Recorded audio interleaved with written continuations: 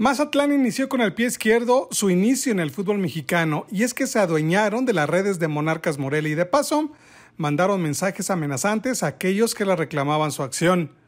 Por si fuera poco, en la cuenta de YouTube del equipo que también pertenece a Monarcas, apareció la foto del nuevo equipo, pero en pequeño olvidaron borrarla de Morelia. Después de horas corrigieron la falla. Un día antes de que hicieran oficial el cambio de sede, ya estaban dando la noticia en las redes sociales. Mazatlán no cambió de propietario, sigue siendo de una televisora, solo cambió de sede. Un golpe fuerte para los seguidores de Morelia, pero un incentivo para la afición del puerto.